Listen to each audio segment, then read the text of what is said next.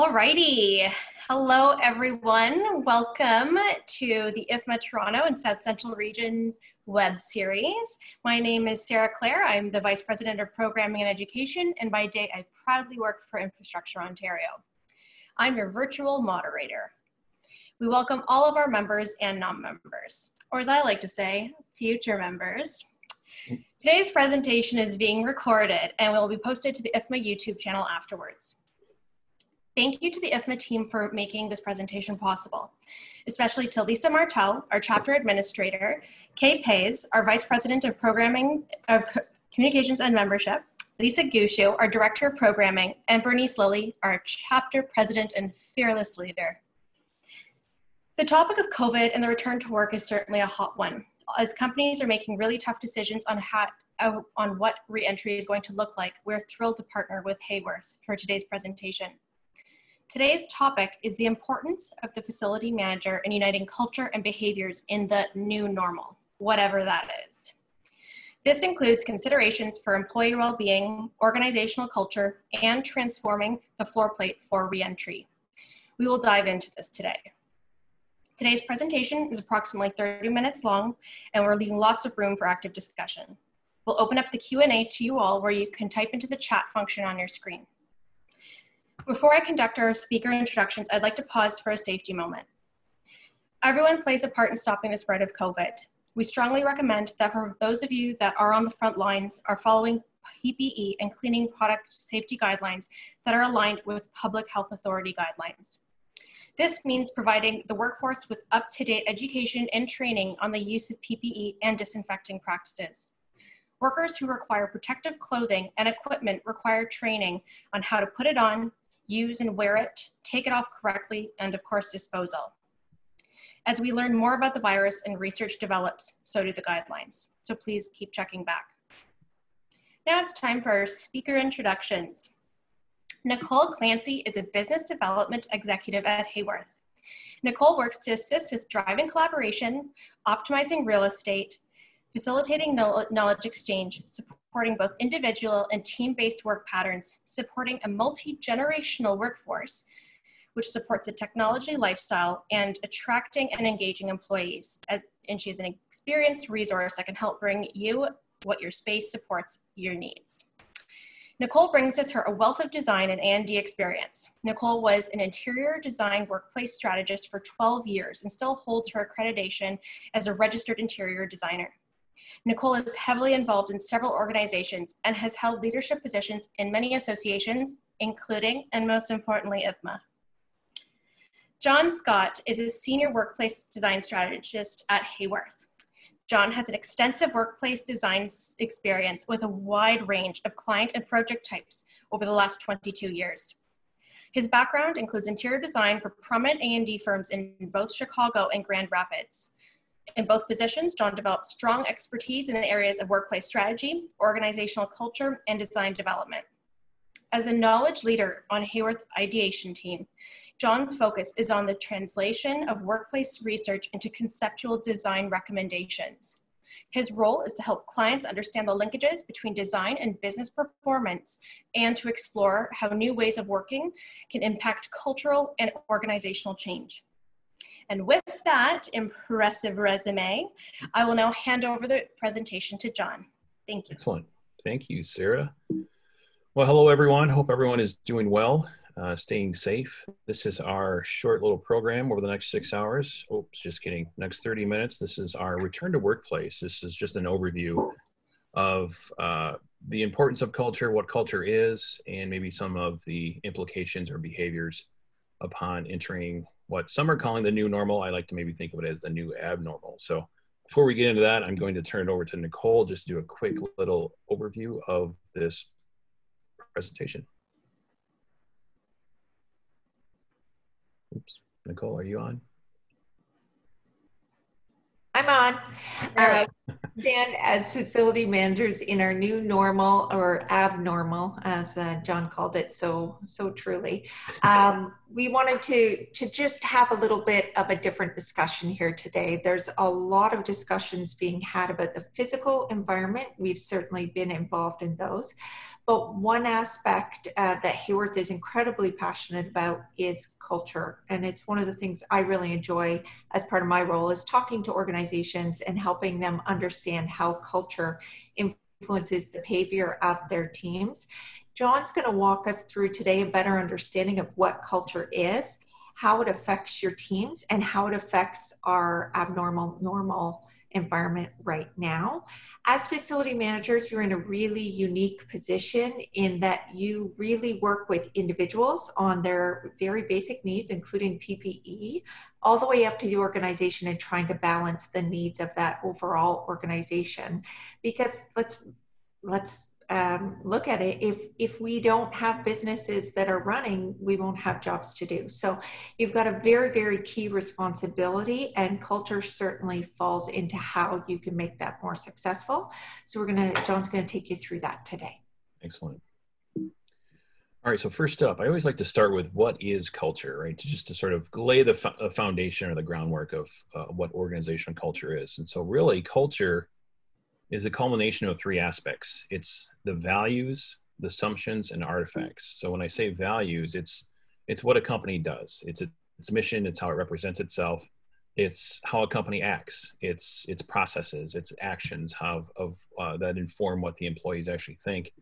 And it's the artifacts. It's what a company represents. Its products, its publications, sometimes even its architecture, can all be an artifact of one's culture. And so, really, all three of these together really make up the personality of an organization. So just like all of us have a unique personality, so do each organization and each company has its own unique personality and each uh, unique culture.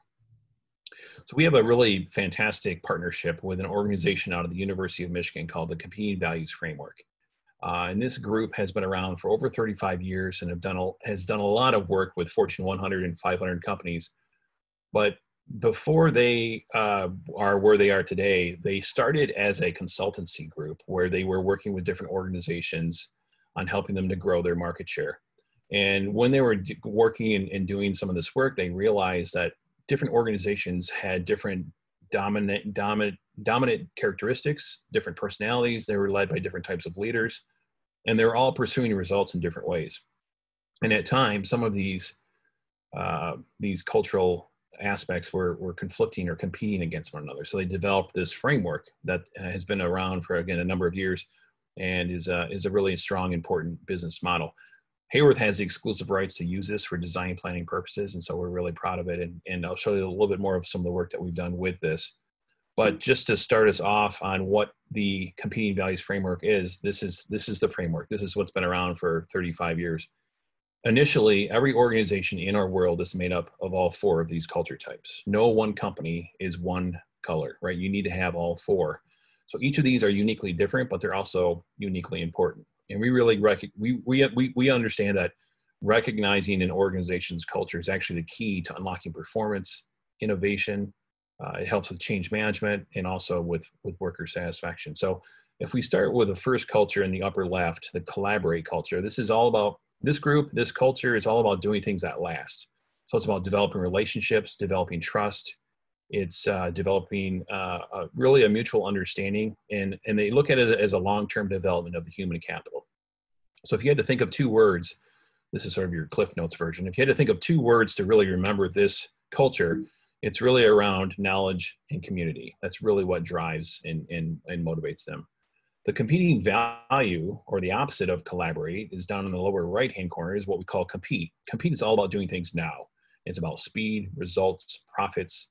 It's about winning, right? It's all about short term performance and getting things done very quickly. So for them, it's profit, it's speed. So these two sometimes are at odds with one another because you have groups in blue wanting to move quickly to see results, and then you have groups in yellow wanting to take their time, make sure that there's group consensus, that everyone's on board, everyone has had an opinion, and there's tension. And so, other, so we'll oftentimes work with the two and say, if the blues can leverage leverage the relationships that the yellows are so good at developing, the blues can actually penetrate and go further, faster, farther.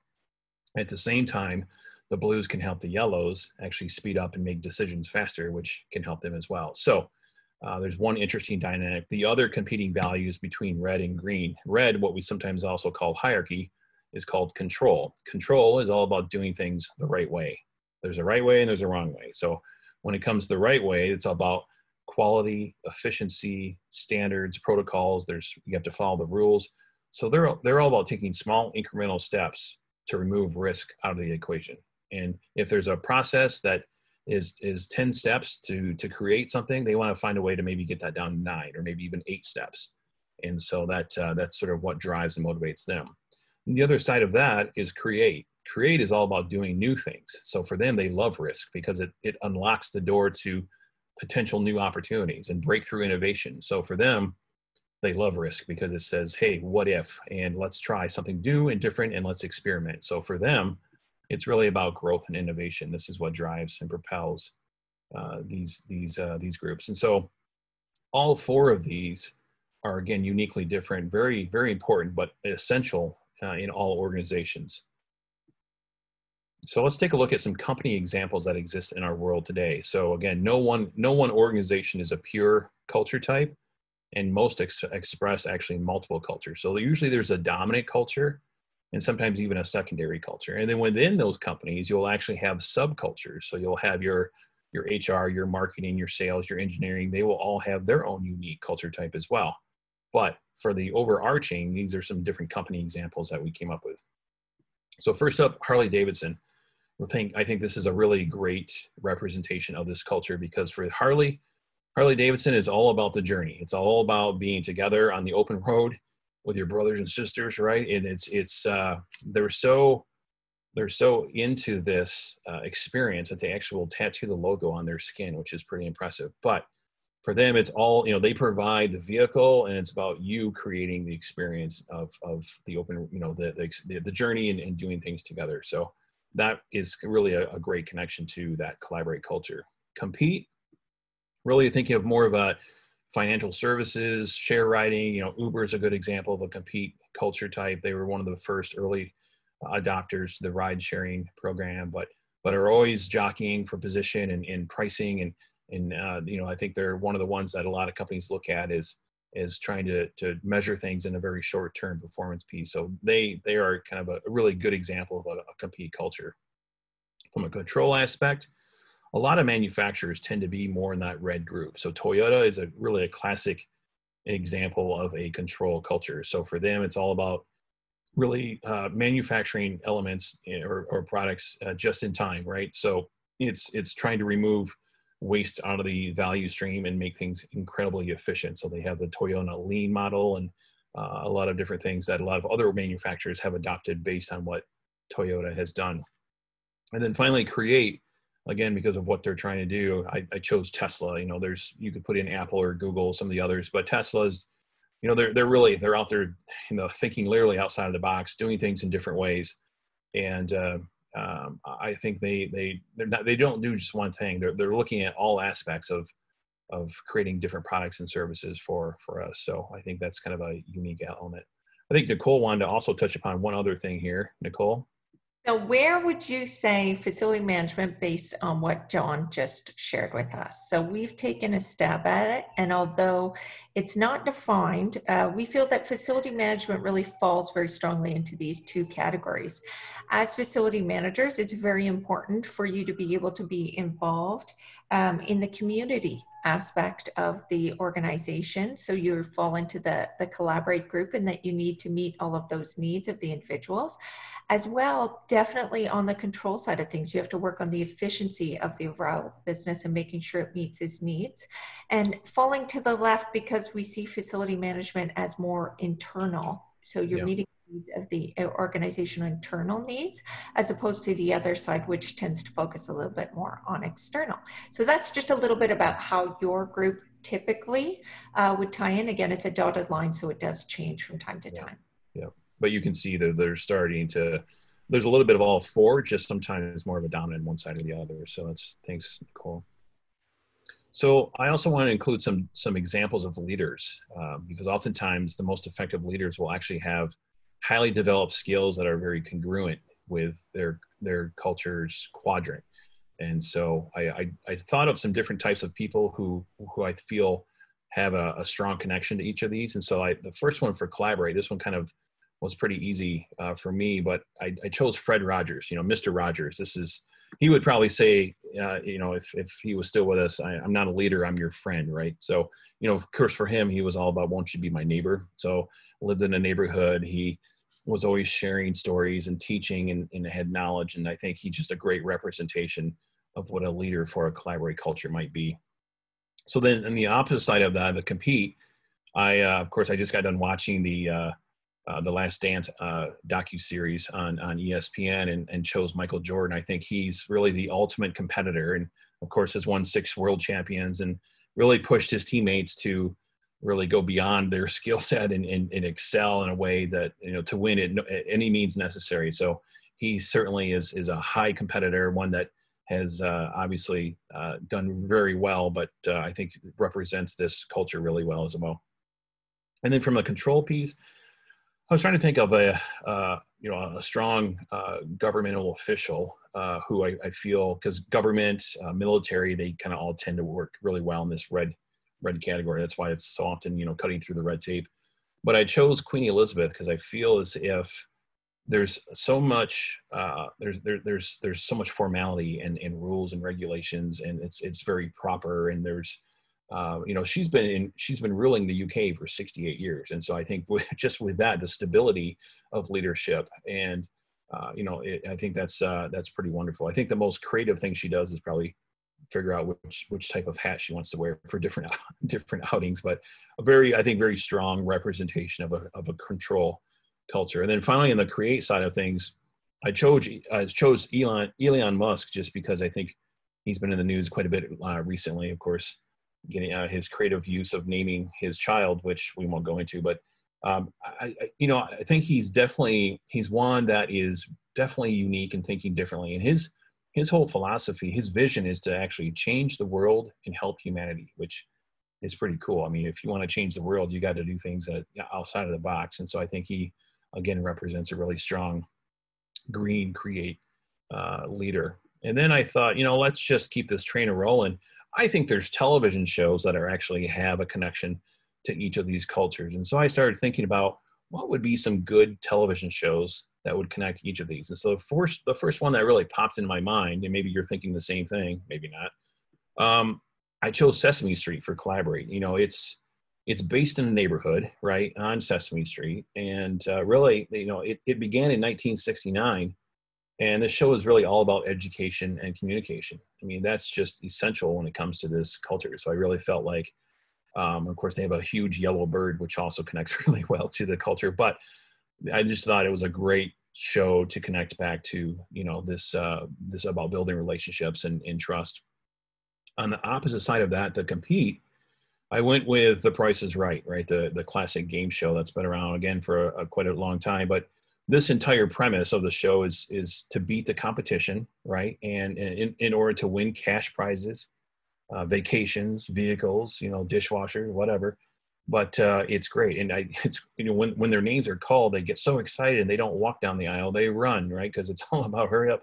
So I think it's a really great, uh, another great example of uh, compete uh, culture. Then on the red side, this one really jumped out at me as well as being pretty obvious. And so you have law, you have order, which the two itself are, are pretty uh, controlled hierarchical element. But this show really deals with aspects of the criminal justice system and follows a very controlled, predictable model. So you can tune in halfway through or three quarters of the way through, and you know that there's been a crime, there's been an arrest, there's uh, there's going to be a court session, and there will be a verdict, and it may it may at the end surprise people, but there's always that uh, that uh, definitive uh, sound that the show makes as well that uh, tells you what's going on. So that I think is another good representation of a control culture. And then the create side, I struggle with this one a little bit, but I came with this one. I, I don't know if you've ever seen Black Mirror.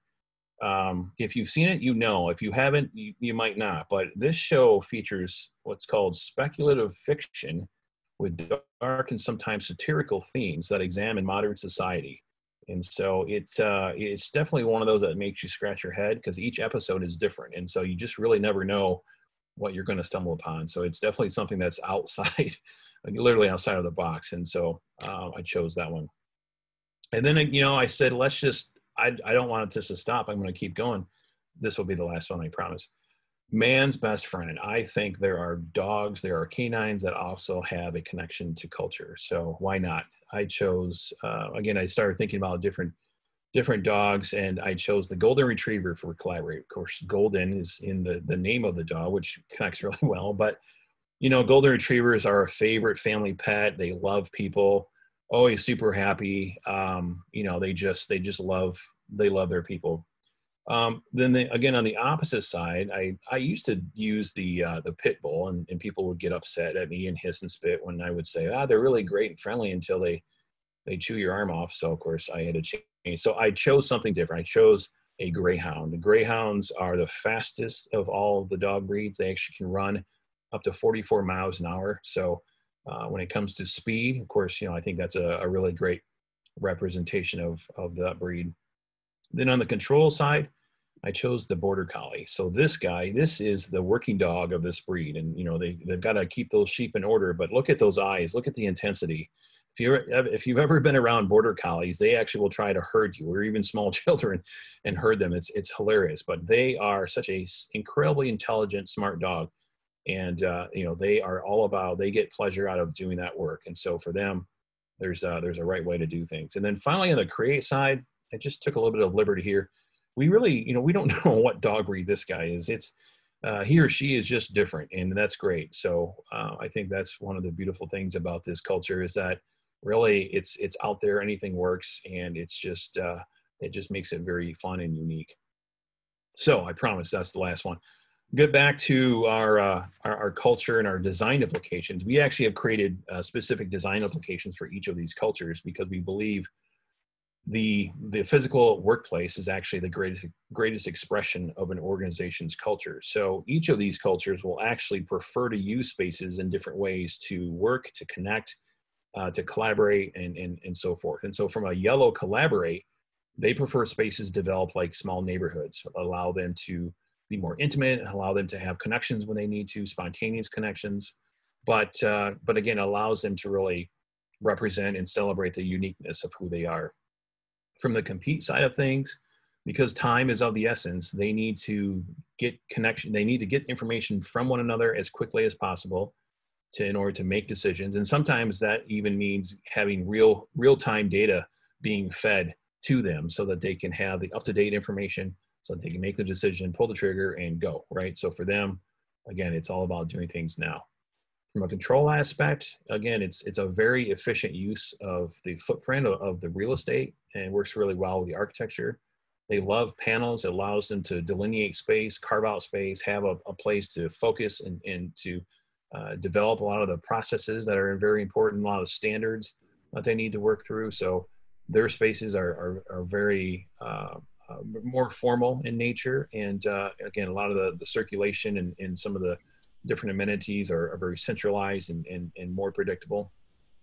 And then finally, the create side of things, they love the as much flexibility and adaptability that you can build into the space as possible because what they're working on today, this week, something might change and they may need to shift and change direction and they want to perhaps readapt or, or alter their environment to support a, a new way of thinking or a new way of working. So the more that this group can can alter their space, the better the idea here is we're trying to prevent putting a green group into a red solution or a yellow group into a, a, red solution because it really doesn't support the way that they interact with each other and really what they're trying to produce. Yeah, so try to take a look at those pictures and see if they're what your organization is sitting in and think about the culture based on John's description and how it fits your organization. Yep. The same can also be true with uh, collaboration modes, right? So each of these cultures will actually interact uh, and share knowledge and use different types of spaces to to connect with each other. So again, for groups in that yellow collaborate, because they are such highly social creatures, they want spaces that allow them to sit, relax, and be very comfortable because it's about building human relationships. And so they rarely will will reserve a, a, conference room to socialize. They may use that to spread out their pizza boxes for their lunch buffet because lunch is like the greatest time of day for them. But for them, it's about finding a place to connect and and, and really you know uh, sharing uh, sharing stories and, and uh, really building those relationships. The compete side of things, again, it's they're working, they're collaborating, they're brainstorming, they're, they're, they're really doing everything all at the same time. And so they may go into a, a small war room. Uh, they're really doing it all now because they don't have time to go and reserve a space and then come back and work. And it's, we got to get it done now. So for them, they may do everything in one type of space. The control piece uh, is all about what we call presentation, right? So for them, it's one or two individuals actually sharing out to the masses new updates, uh, information on changes. Uh, you know, it's uh, the new standards or new operating procedures. This is a highly effective way for this group to share information. And then from a create side, because of the brainstorming and strategic thinking that they're trying to do, they need spaces that allow them to uh, not be distracted, but also be able to put things up on the wall, uh, find connections, and start developing sort of that uh, more of that displayed thinking and, and conceptualization that is so important when it comes to developing new ideas. So a lot of this can be found in a recent white paper that we developed uh, back in May that really talks more about each of these culture types, what makes them different, what makes them unique, but also a lot of, around their collaborative uh, spaces as well. So if you're wanting to, the link over on the right-hand side, uh, uh you can go to our, our website, and download the white paper for free. So it's just a few pages long. But uh, again, it's something that you're interested in learning more about. So really the rest of this uh, piece today is really thinking or focusing on the return to workplace and what some of the cultural implications and perhaps some key challenges might be for each of these cultures. And so we'll walk through each of the cultures and talk about some of their key challenges. So again, for the collaborate, they're committed to their community and their work because they're so used to being uh, close to one another and, and socializing frequently, the physical distancing might be harder for this culture. Uh, and you know, trying to set up a new new norm, and of course, uh, you know, as they try to transition back into the physical workplace, and the ability to not to not even physically uh, be adjacent to one another or support one another through friendly hugs or high fives, it might seem strange or odd to this culture. However, uh, I feel like their unified behavior really produces a strong organizational image. And I think together they actually may cheer on this new change in the workplace and actually help be cheerleaders and, and build stronger relationships as a result of COVID. So thinking about it, some key challenges from three unique perspectives, the employee well-being, the organizational culture, and, and transforming the floor plate. The first obviously you need to address the loss from the workplace change and find ways to encourage people to talk about their emotions and feelings. That's going to be really important for this culture type. From a cultural standpiece, uh, really involving people early and often who will be affected by the change in the planning and implementation of a potential new workplace. And then when it comes to transforming the floor plate, again, really maintaining the appropriate distance for conversations among occupants might be difficult for this culture, but but still need to provide opportunities to celebrate together because again they they celebrate all things. Hey sally got a new cat. Hey let's let's throw her a, a cat shower which because cats love showers or water um, but anything that allows them to come together is really important. So just still maintaining and being able to find ways to do that. From a compete aspect again they're all about speedy and profitable outcomes. This you know because they're they're, they're focused on the the pursuit of success they actually, I believe, will be quick to learn what works best for them and the business and what can be left behind.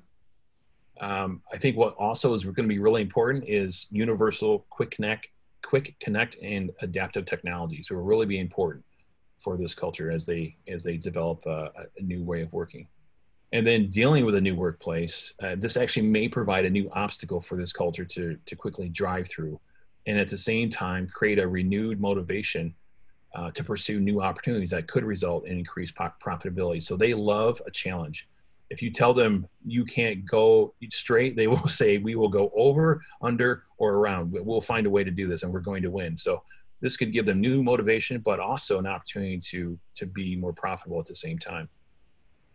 So, again, from these three uh, perspectives, provide quick face to face or new virtual interactions while adhering, of course, to physical distancing restraints and taking too long to adapt to the new workplace could be a potential hindrance of speed because of course this is all about maintaining the competitive edge.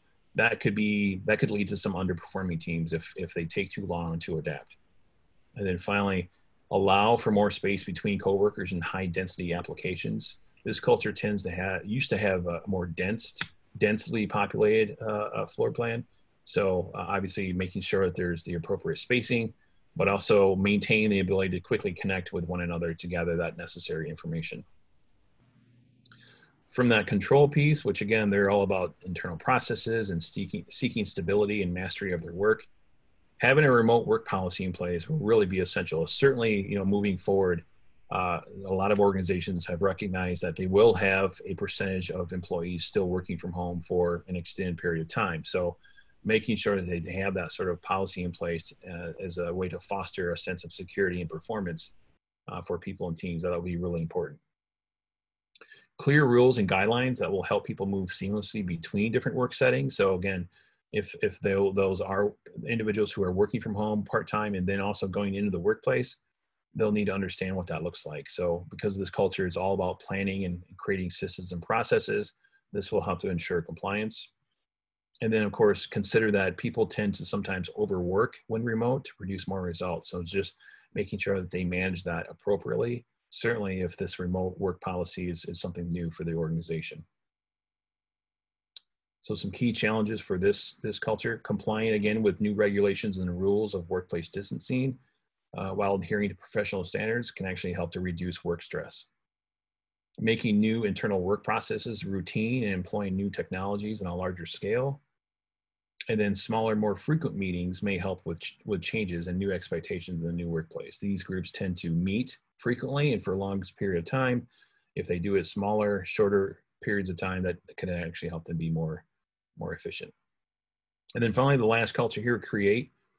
Again, as a result of COVID, this culture could experience and realize a disruptive innovation, which is an innovation that creates a new market or value network. The, as they pursue breakthrough innovation with a wide array of, of experiments, the new workplace could provide new opportunities to do just that. And because of their fluid idea generating nature, they may accept changes in the new workplace as an opportunity to explore how human relationships and the use of new technologies used together can actually lead to new breakthrough products and services, which again could cause radical changes in the marketplace. So for this culture, they may see this as a, a reset or a pause of, of starting something new now uh, that, that they could perhaps have uh, a lot of uh, influence on. So from employee well-being, again, offering new spaces that stimulate and inspire people to think creatively, uh, creatively uh, while providing a sense of belonging will, will be very important. Finding ways to hold idea sharing events in the new work setting, uh, again, while speculating about emerging opportunities. And then reestablishing a flexible and open workspace that empowers new product development in smaller groups. So then we also we we we took a step ahead. You know, we looked into our crystal ball and got all the answers and said, here's what the new workplace might look like based on some of these cultural design implications. And so, from a again from a collaborate uh, aspect, we we sort of highlighted three specific elements that that might be. So this might be a so it's the uh, the new normal or the the post COVID. So the number one is really representing the use of photo or or personal artifacts for worker identification and engagement opportunities. Uh, number two is really looking at providing post-it notes or post-it pads or assigned individual whiteboard areas for larger common areas. And then three, uh, for kitchenettes, maybe find ways to make the kitchen safe with individually contained areas for personal artifacts such as coffee mugs. From a compete culture, uh, you know, the number one's looking really pointing at planters or the planters at the end of, of workstations can actually help support physical distancing while at the same time helping to clean and filtrate the air.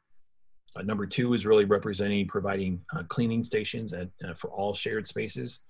And the third point here is really provide more opportunities for virtual conferencing. From the control side of things, the first one here is, is the orientation shift uh, to help with physical distancing with proximity to with neighbors. Just changing the orientation could actually help, uh, you know, with, with uh, uh, providing a little bit more safe distancing.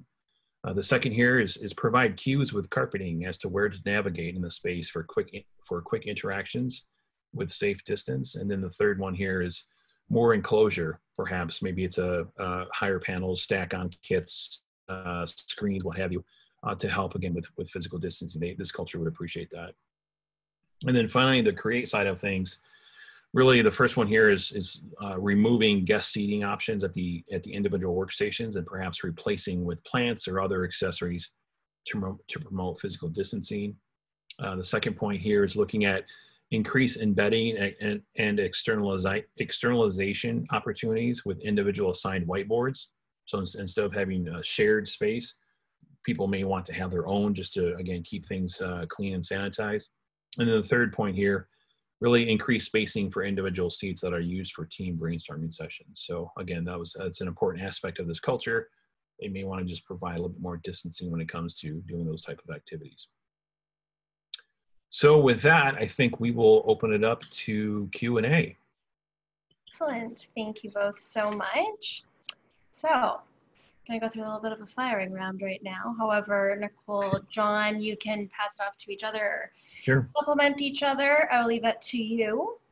So, um, outside of an excellent communication strategy, what other actions can companies and facility managers do in partnership to provide comfort to tenants that have yet to return to their office?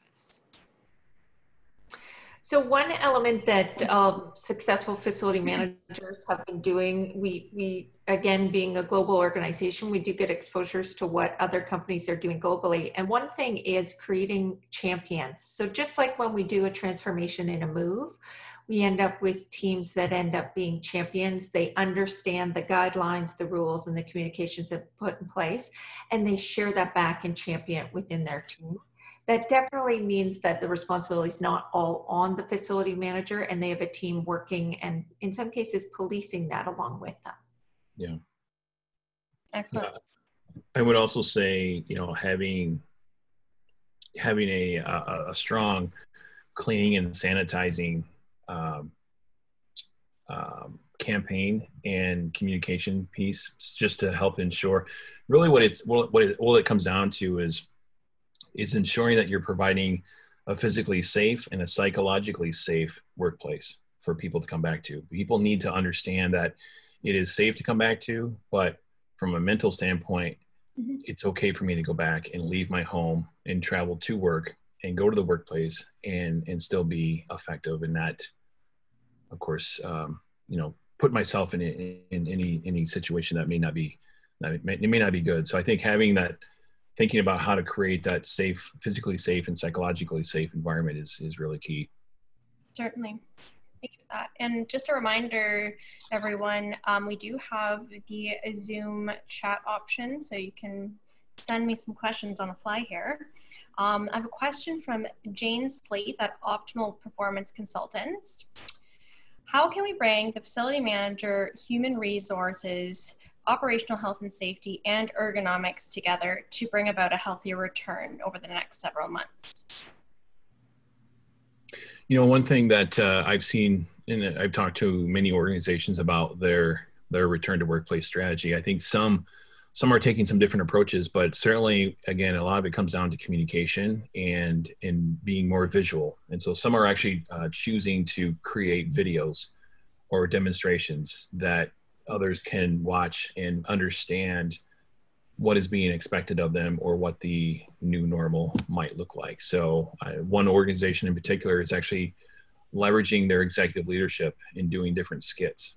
And so they'll have one executive leader demonstrate the the right way to do things and then unfortunately they'll have another executive leader maybe demonstrate the wrong way to do things and so they they're having a little bit of fun and, and adding a little bit of humor but i think just being because we are such visual creatures, um, being able to demonstrate it visually, and and I think that will help to in all aspects of whether it's you know facilities, HR, ergonomics. I think that will really help people um, feel better about some of these changes that are going to be in place, but but also what some of the new expectations will be uh, in the new workplace.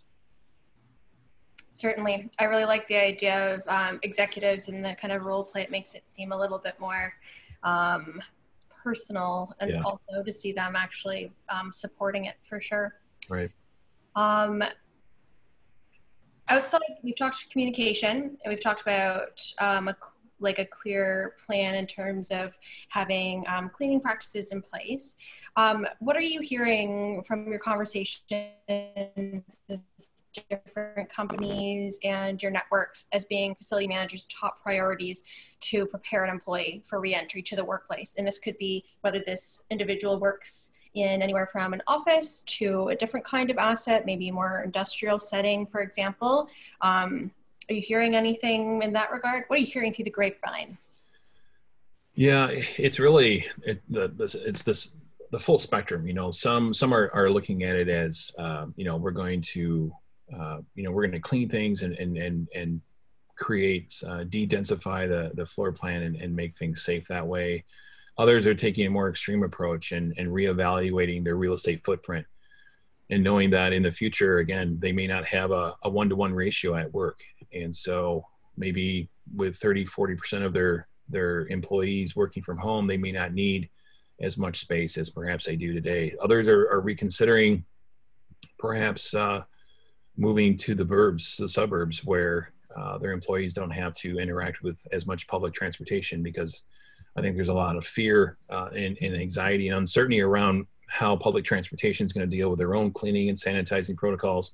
And so some companies are thinking about, you know, instead of moving more downtown, maybe moving out to, you know, where, where the people live and, and whatnot. So, uh, you know, I think it's all over the board. I think they're really, I think they're really uh, investing more heavily in, in their janitorial services, but they're also reconsidering their uh, their HVAC and, and how the spaces are ventilated and how to perhaps bring in more fresh air on a more frequent basis. And so mm-hmm. the indoor air quality is being completely uh, re uh, reimagined or, or, or revisited. And so I think you know organizations are really all over the board when it comes to how they're trying to prepare and and and, and create um, you know again create that that safe uh, working experience.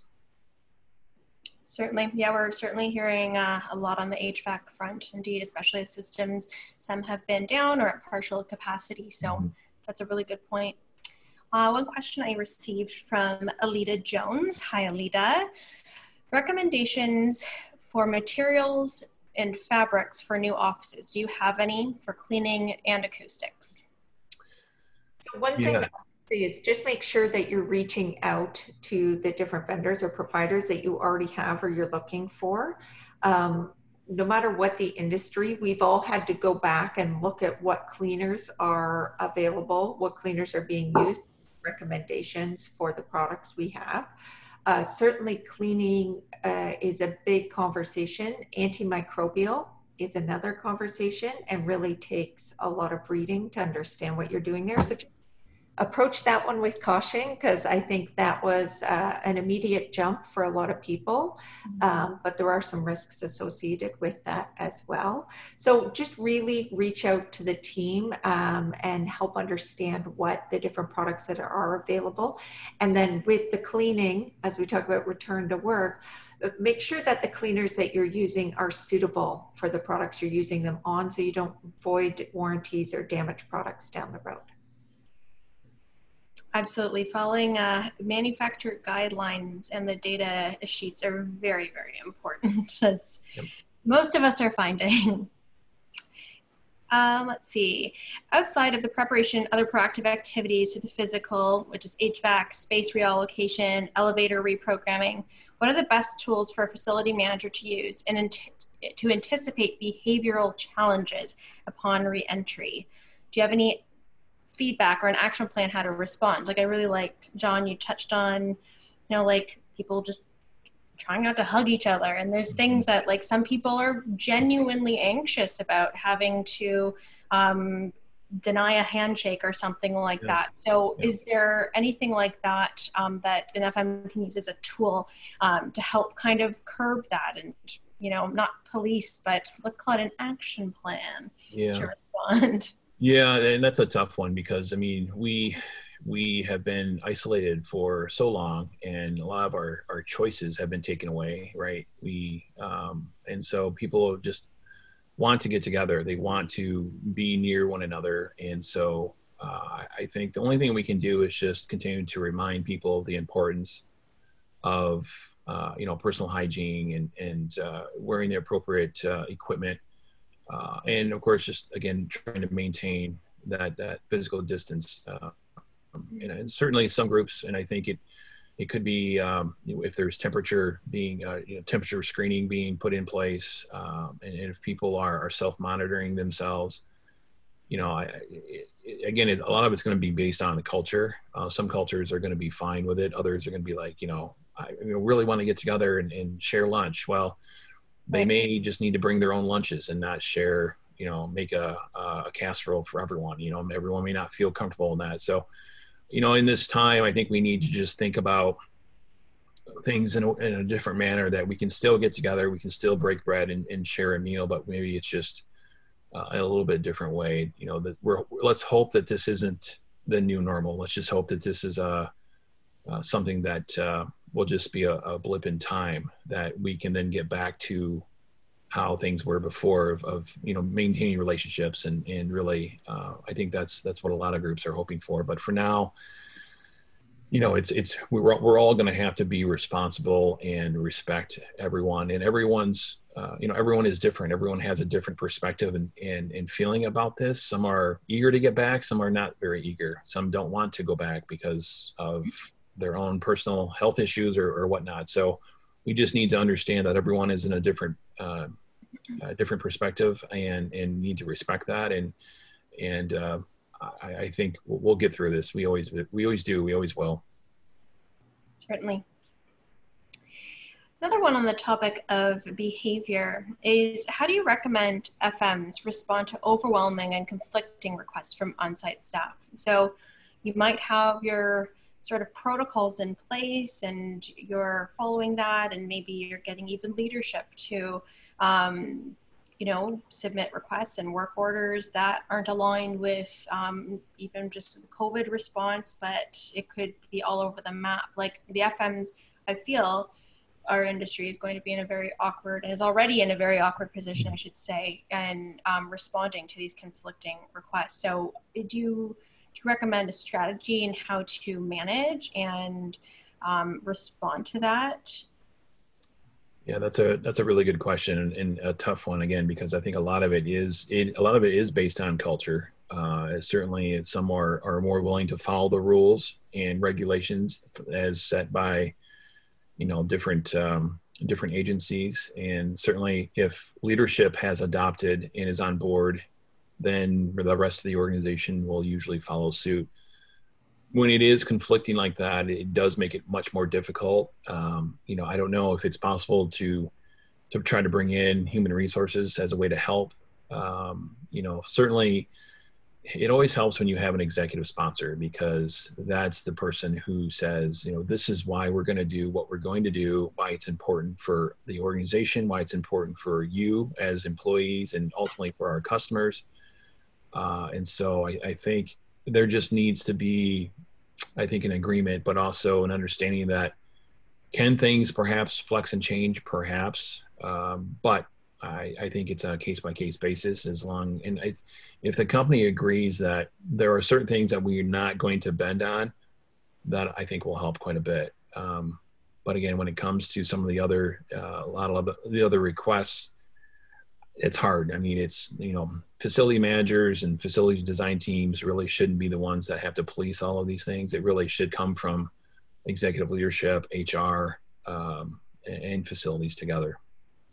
Yeah, certainly having that united front is very important, and having that consistent message that is always going back um, to staff is really important. I think just like this is all just showing the critical role that we all play in making sure that we do have a safe and like comfortable return back as comfortable mm-hmm. as it can be but one day we will all be looking back and we can all brag that we worked in facility management at the time of the coronavirus.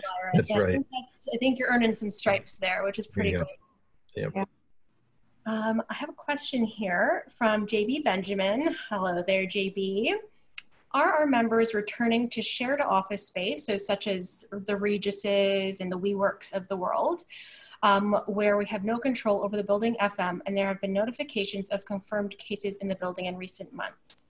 Our company has opted out opted to not return to our shared offices or even our dedicated buildings we own in the near future. Our team in Toronto has been even more productive working from home, 100% as opposed to 70, 75% remote in the past. So really around these um, these shared spaces, and I mean we've pre-COVID, like the increase of these co-working spaces and the attractability of them. And um, what what do you see? Do you see the um, the Reguses and the WeWorks of the world, do you see them um, kind of, or do you think it's going to be a lull, or do you think maybe it just comes down to them having a lot of enhanced cleaning and things like that? Like, what what do you think um, is if you looked into your Haworth crystal ball, what right. would you guess? Right. Yeah, that's that's another one that we certainly will watch, um, and and it's it's one that will it's almost a to be determined and i think they're even still still trying to figure it out for themselves but i think the the, the idea of, of providing a third place for people to use outside of the home or the workplace um, is still an attractive uh, amenity for some. And i think it still will be relevant in the future. Uh, will they not grow as much as they had in the past? Perhaps. Uh, it could be uh, they, could slow down with with some of their growth, but they certainly I think will take on a, a higher focus on cleaning and sanitizing, and that that will just that will have to be in place and it'll have to be communicated and it'll have to be demonstrated and perhaps with the use of technology uh, they uh, they can leverage that a little bit better. I know some companies are actually putting QR codes everywhere so that if there is an issue, an employee can actually take a picture of the QR code with their their phone, mm-hmm. and then that information goes directly to whether it's facilities or whomever the appropriate you know uh, uh, group is to address the issue right away. So little things like that could could help as well. But I think there's still there's still an opportunity to leverage those types of spaces in the future. How you know whether they grow or shrink, wow, is really it's really hard to know right now. I agree. Oh, sorry. Go for it, Nicole. I'm going to say, sorry, locally, what I've seen in some cases is that individuals, rather than using it as a shared space, is so many offices today have hoteling or their own type of collab space um, in the environment.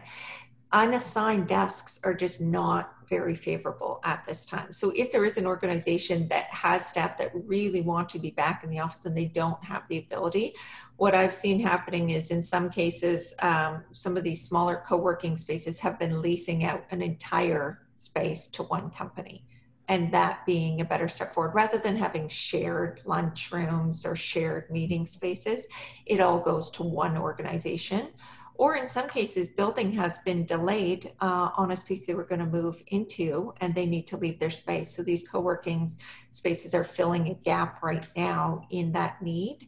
So we're not seeing them go away, but maybe the intended use has changed. Certainly. Yeah, I don't foresee them going away myself. And I mean, I think it's like what we have been talking about and what um, both you, Nicole, and John have been talking about with layouts. I mean, you have the Reguses of the world that are typically more traditional and have separate offices and they're self-contained, and then um, the WeWorks and others um, tend to be a bit more open and collaborative, but there are furniture solutions around that that they could look into, of course. Everything comes down to everyone's comfort level at the end of the day yeah. right now, and that's whether you're going into work or you're deciding to go to a patio yeah. for those in phase two. Right.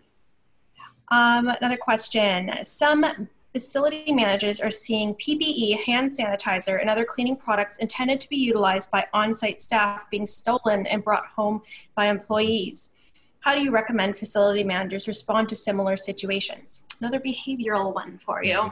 Yeah, that's that's another tough one. Um, and again, I think a lot of it again comes down to culture. It's it's it is amazing how much culture impacts and influences so much about how we work and how we interact with one another. But um, that's a tough one. I mean, I, I really, you don't really want to lock those things up. You want to be able to give people access to those cleaning stations so that they can either that or you you make sure that you have uh, individuals visibly present and out cleaning all the time so that they don't have to uh, clean themselves or not clean themselves i'm sorry but clean their their spaces that they're they're occupying themselves so that could be one workaround but um, you know outside of of that I, I i I don't know what the best way to prevent that from happening. It's it's unfortunate and it's too bad that we can't that people feel the need to do that because they can't get it anywhere else. Um, so I would say, you know, I, a lot of it is just maybe again communicating and, and asking uh, those to,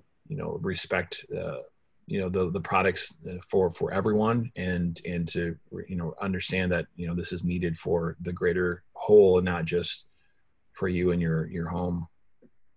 Mark some glitter bombs with hand sanitizer boxes. You only have to have a couple, and it won't happen again. what did you say?